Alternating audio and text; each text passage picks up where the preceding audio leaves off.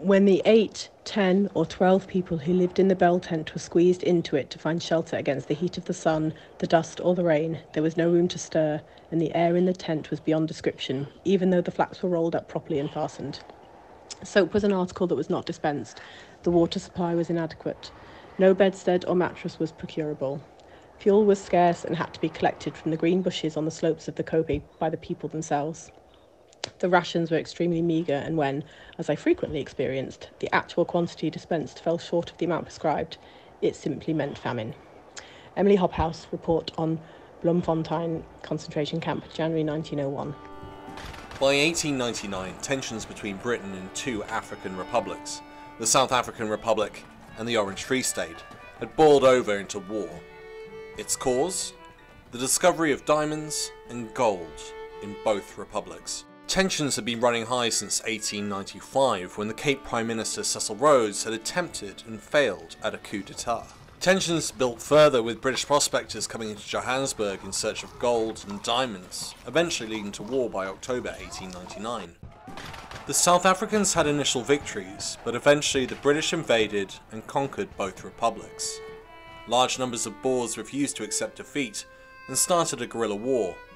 The British struggled to defeat the Boers and in 1900 switched to a scorched earth policy, which included concentration camps.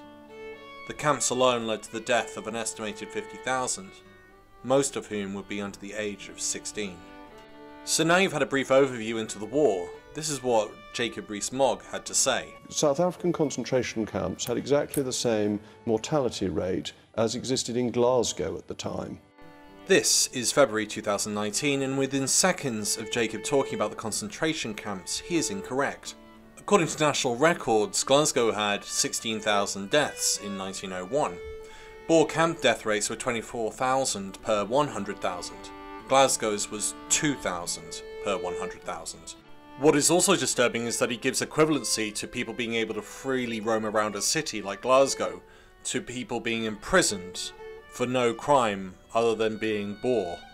What we then have to ask is, is he A, deliberately lying to protect British history, B, ignorant of what happened, C, having a meltdown about the truth, D, lacking intelligence, or E, all of the above? So they're not um, a good thing, but where else were people going to live Did when you there just was all that war? justify the use of concentration camps? No, I didn't. I'm talking about the Boer, the Boer War had people put in camps for their protection. Where the Another lie, that's not why people were put into the concentration camps. The British were losing the guerrilla war, and this simple policy was let's just do scorched earth, take everything off the land, including people and food, make sure the guerrillas cannot continue their fight because they aren't being supplied and protected by local inhabitants. And we do that by imprisoning the local inhabitants, women and children, inside concentration camps. the British When- invented the use of concentration But, camps. but, but I'm afraid you're confusing concentration camps with Hitler's extermination camp. Really patronising comment there, and it's essentially a translation you don't know what you're talking about, and you could translate it further by saying essentially he's calling her stupid. The only person to bring up the term extermination camps is Rees-Mogg himself. So why is he bringing that up? They're two different things. Concentration camp, you concentrate a part of the population into the area. The outcome can vary. Extermination camp is you concentrate the population there with the aim of exterminating them. But the Boer camps, there is evidence to show that it was a deliberate effort to exterminate parts of the population, and we'll talk about that in a minute. I'm not saying they're the same These- thing. I'm saying that any concentration the- camp these is de facto were- an awful, awful Yeah, thing. These were people who were interned for their safety. What a massive lie. They were not interned for their safety. They were interned because there was a guerrilla warfare going on. The British were losing and they had to resort to more extreme methods in order to deal with the guerrilla warfare. On the 16th of June 1900, Lord Roberts, Chief Commander of the British Forces, issued a proclamation stating that for every attack on a railway line, the closest homestead would be burned down. This was the start of scorched earth policy. When this didn't work, Roberts issued another proclamation in September 1900 stating that all homesteads would be burned in a radius of 16 kilometres of any attack, and that all livestock would be killed or taken away and all crops destroyed. This is a systematic policy to drive out the guerrillas, but also to damage and hurt any local inhabitants, guilty or innocent. Now, that is not a good thing. I'm not Hundreds in of thousands of people died. The death rate was exactly the same as in Glasgow. Again, another lie. Death rates 100 years ago were considerably higher than they are now uh, for all sorts It of was reasons, systematic including. murder. It was not systematic murder. That's simply wrong. So let's break this down. Definition of systematic done or acting according to a fixed plan or system. Was there a system to putting all those people into concentration camps? Yes. What we then have to ask is was there a, a system or method in place for killing those people whilst in the camps? And that's debatable. That we could debate. But what we can also definitely say is 25,000 children under the age of 16 died. Have a listen to this quote by Emily Hobhouse, who describes the conditions that one person had to live through inside the camp as a result of them being associated with a Boer guerrilla. She was a frail, weak little child in desperate need of good care. Yet, because her mother was one of the undesirables, due to the fact that her father neither surrendered nor betrayed his people, Lizzie was placed on the lowest rations and so perished with hunger that after a month in the camp, she was transferred to the new small hospital. Here she was treated harshly. The English disposed doctor and his nurses did not understand her language and, as she could not speak English, labelled her an idiot, although she was mentally fit and normal. Emily Hobhouse tells the story of the young Lizzie Van Zyl who died in Bloemfontein concentration camp.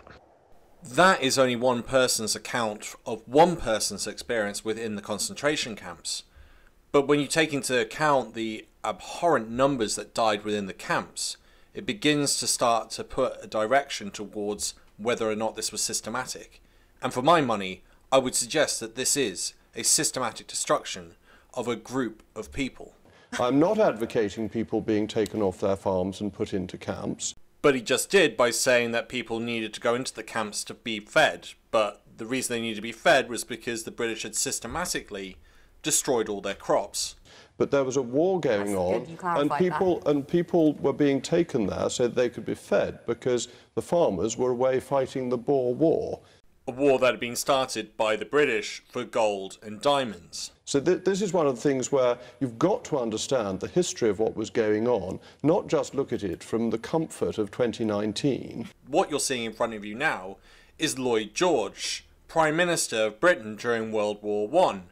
He was also a politician during this period, and guess what he suggested was taking place in South Africa? He claimed in the House of Commons that the Conservative government of the day had a policy of extermination directed against the Boer population.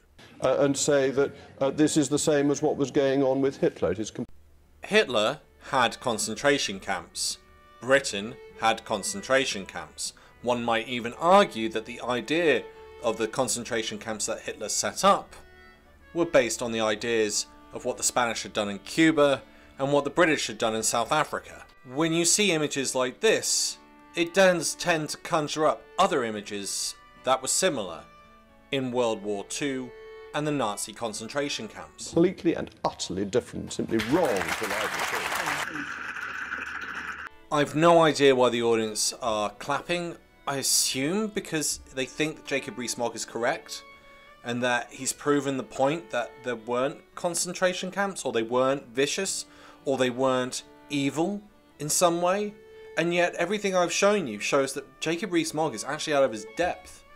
And it seems that the audience are more than anything else clapping because he's vindicated British history as a source of good Yet this part is nothing but evil.